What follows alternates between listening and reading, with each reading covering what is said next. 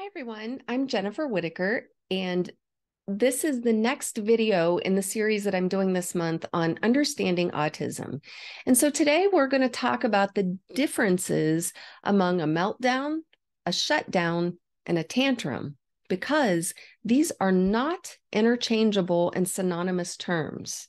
And today I'm going to help you understand why. Meltdowns and shutdowns are often misconstrued as tantrums, and they often end in some sort of punishment or discipline.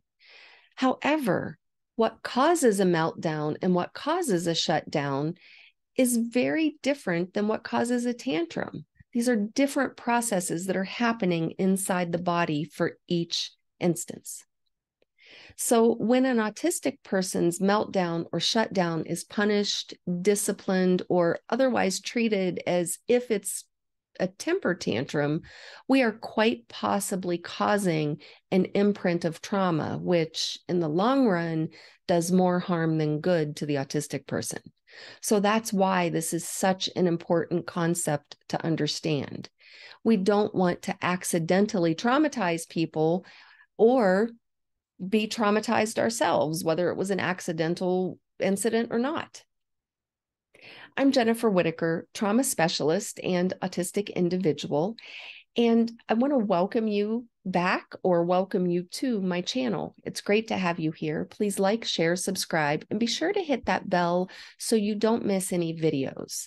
And I hate for you to miss any videos, especially in this series on understanding autism. So hit that bell so you're notified. So let's get back into this. What is a meltdown? Meltdowns, meltdowns happen to autistic people, and they're an intense reaction to an overload of external sensory stimuli or a highly distressing situation in the environment. Meltdowns are the body's attempt to self regulate. And according to st- a study published on PubMed titled The Lived Experience of Meltdowns for Autistic Adults, during a meltdown, most autistics described feeling overwhelmed by information, senses, and social and emotional stress. They often felt extreme emotions such as anger, sadness, and fear, and had trouble with thinking and memory during the meltdown. Participants described feeling like they were not themselves during a meltdown. And yet, that is how they seem to let go or release the extreme emotions that they were experiencing. So, what is a shutdown? Executive functioning shutdowns are cognitive processes regulated by the prefrontal cortex, right here behind your forehead, that facilitate the achievement of goals, problem solving, decision making, and action and behavior control those of us who are autistic and or ADHD have different neural wiring than allistic and neurotypical people do. Thus, our prefrontal cortexes function a little bit differently. Shutdowns can be caused by sensory or emotional overload, being rushed, feeling cornered, not having enough time to process, distress, pain, illness, or overwhelmed due to societal demands that often lead us to mask in order to appear normal. Now, it is possible for neurotypical to pe- people to experience executive dysfunction. However, that's usually caused by other things like certain mental health conditions, such as addictions, behavioral disorders, and mood disorders. It's probably not a lifelong condition attributed to neurological differences when a neurotypical person experiences executive dysfunction. So, what is a tantrum? We commonly call these temper tantrums, and they happen to everyone not just autistic folks and not just neurotypical folks. The severity of a tantrum is determined by age, understanding the individual's window of tolerance, the intensity of the emotion, whether it's disappointment, anger, frustration, irritability, privilege, entitlement, and the person's level of emotional intelligence. Tantrums are driven by wants or needs not being met or perceived as not being met. Tantrums are a normal part of childhood.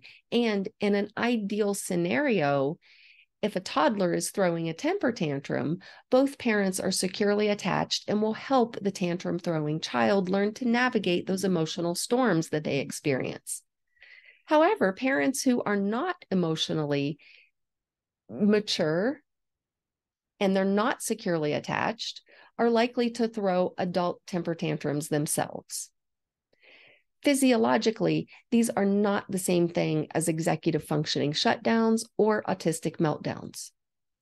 So, some characteristics of a meltdown um, might look like, um, you know, causes might include overstimulation, usually due to a buildup of sensory input that becomes too much, a little like your computer acting up when too many apps are running in the background and it just needs a reboot so it can function well again. And meltdowns might look like hitting a limit, it can feel as if the brain is short circuiting. There is a self reported temporary loss of control due to overwhelm. And that loss of control might include verbal expressing, like crying, shouting, or screaming. It might include um, physical expressing, like kinky, kicking, stomping, or lashing out. Or it might include self harm behaviors like banging one's head against the wall, repeatedly hitting oneself in the arm or in the legs. So these look very much like fight or flight behaviors. And so that's what a meltdown can look like. Now, how can you help somebody when they're having a meltdown?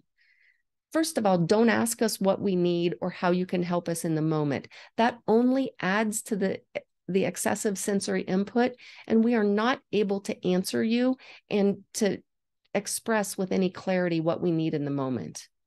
What we need is moral support, somebody to hold space, and when we're ready to talk, somebody to listen. We don't need judgment because your judgment of us in those moments only makes it more overwhelming and so much worse. Instead, show empathy and compassion because that's what helps us come back to ourselves more quickly and mm-hmm. ask us what we need when we're calm before the sensory input leads to a meltdown. So, if you know that you have an autistic person in your life, especially if it's somebody close to you, have this discussion as a preventative measure. How can I support you before this happens? And what can I do when it's happening and after so you know not to ask in the moment? Now, what does a shutdown look like? Because a shutdown looks different. Now, causes of a shutdown include sensory or emotional overload, being pressured or hurried, feeling cornered or trapped, experiencing distress, pain, illness, or some unrealistic or arbitrary societal demand that will cause us to mask and ableize, which is how we pretend we're normal so, neurotypical people won't shame, ostracize, and belittle us for our differences. It's exhausting to live like this. Now, a shutdown does look different. This is withdrawal, and this is wanting to be alone. We might, you know, kind of suck into ourselves. A lot of times we have a monotone voice when we're in a shutdown or flat affect. We might be unresponsive altogether um, oftentimes inside ourselves, we feel really far away as if our body's here, but we're over there. Um, we might be unable to speak and sometimes unable to move altogether. Or if we are able to move, the movements might seem really robotic because our limbs feel really weighted and heavy. And we have difficulty thinking, difficulty forming thoughts. Um, it's a complete depletion of our energy. And to an onlooker, the behavior may seem unrecognizable as if it's a different person entirely. And sometimes that's how we feel during a shutdown. Now, ways to handle a shutdown the best way is to lean into it and let it happen because fighting against a shutdown makes it so much worse. Sleep, is a great way to handle a shutdown. Get some rest or get some sleep if you can. Be easy on yourself. If you experience that emotional hangover that seems to follow a shutdown, be easy with yourself. Watch a movie, play a favorite game, color, or do whatever that thing is that helps you recharge and come back to yourself. Have a safe, sensory friendly place to retreat to, and take time before re engaging. Now, signs of a tantrum can include physical and emotional displays of anger, frustration, or displeasure. The Karen stereotype was created to call out adults who throw temper tantrums. And it's really not all that different from the temper tantrum a toddler might throw because there is emotional immaturity behind it. However, in children, tantrums are developmentally appropriate because it's part of the learning process. But in adulthood, it's a lot more concerning because sometimes adults use temper tantrums really consciously to achieve a desired goal. So there may be targeted manipulation behind a tantrum. So, in a nutshell, And I admit that this is a bit oversimplified, you know, to summarize. Meltdowns are related to the more hypersensitive nervous systems of autistic people. Shutdowns are generally related to differences in neurological wiring that affects our executive functioning, and tantrums are about emotional immaturity.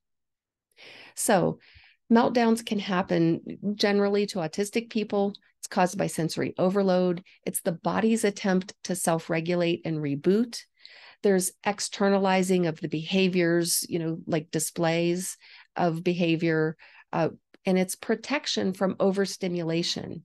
And we can help by understanding supporting and preventing the autistic individual.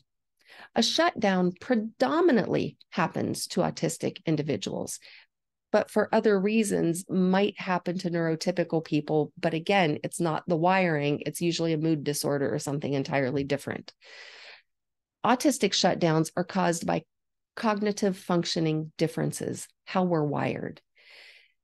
It's a brain's attempt to de stress and calm down and reset. There's an internalizing and a withdrawing so we can recoup from the overwhelm. And again, you can help by understanding, supporting, and preventing. And tantrums can happen to anyone and everyone.